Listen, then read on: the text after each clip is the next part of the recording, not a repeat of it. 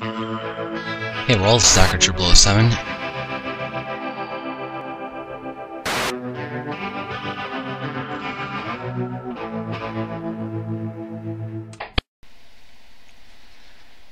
Hey world, it's Hacker Triple 07, and today I'm going to show you, in my opinion, the best way to back up your Windows 7, Windows Vista, Windows XP computer. And what I mean by this is basically backing up your partitions, your drive, certain files or folders, really anything, um, erasing drives, cloning drives, whatever. The program is called EaseUS Todo Backup Free 2.2.5.1. I've already downloaded and installed the program. I'll have a link in the description to this program.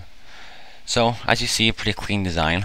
Um, very simple interface. You open up to this, and you can choose what you want to do. So if you want to backup, you click the backup section, and now you can file backup. So this is where you can choose a certain file you want to back up. So you press next, name it, press next, and you can choose a certain file to back up, and then where you're going to back up to. If you do disk, disk or partition backup, you can back up a whole disk. So I have here two disks, Windows 7 and Windows 7 Recovery. You just check one of them off. Sorry. Next, and then you want to select where you're going to save this. So usually you want to plug in a big hard drive, maybe a two, a one terabyte hard drive. that's where you want to do it. In the recovery section, this is where you can recover a whole selected drive partition. Obviously, I don't have any file recovery. You can obviously don't have any, but that's it. And then you can go clone, which is actually very cool too. You can actually clone a operating system, um, oh, basically a whole disk to another disk.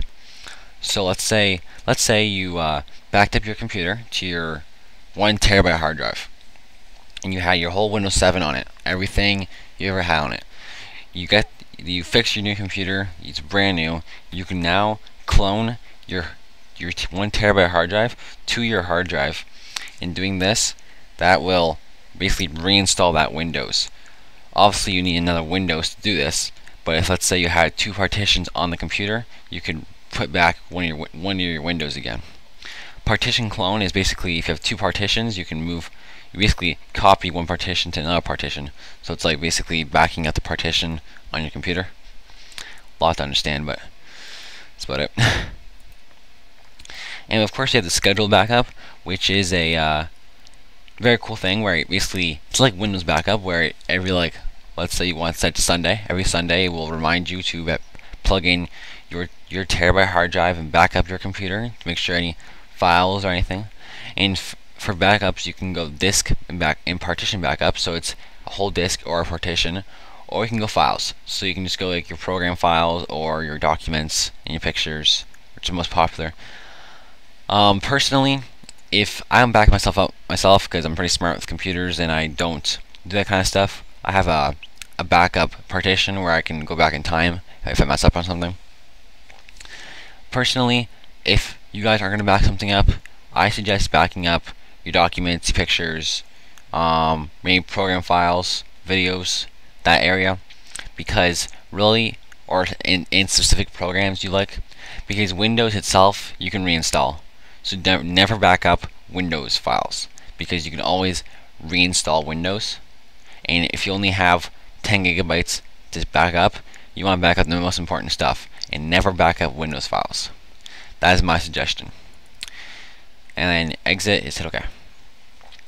If you guys have any, any more questions about backing anything up, about this program, or any other programs, please leave a comment or send me a message. And don't forget to subscribe.